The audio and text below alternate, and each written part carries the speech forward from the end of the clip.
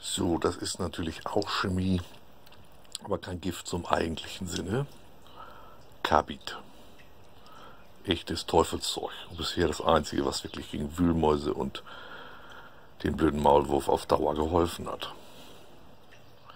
Wir haben ja, Gramm hat da nicht eine Packung? Insgesamt habe ich zwei Kilo bestellt. Viel zu viel hätte ich nie gebraucht, wusste ich ja vorher nicht. So, ich habe viel zu viel davon bestellt. Aber ich habe hier mal einen rausgenommen. Daumen groß. Sollte man übrigens mit Handschuhen machen. Es ist und bleibt halt schon nicht ganz ungiftig. Ich stelle es mal erstmal weg. So. Jetzt nehmen wir es. Tun es mal ein bisschen am Weg.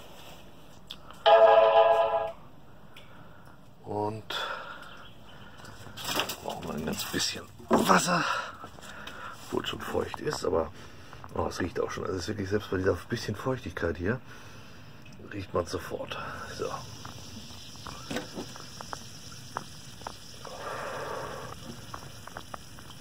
Wie kann man sagen, das stinkt wie Butter. Dass da der Maulwurf und die Wühlmaus verschwinden, kann ich echt verstehen.